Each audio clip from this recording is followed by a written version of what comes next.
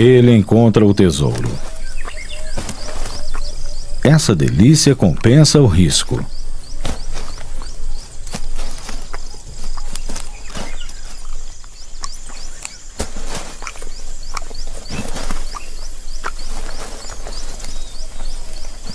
Ele está ansioso para abocanhar o ovo, mas toda essa pressa acaba o denunciando.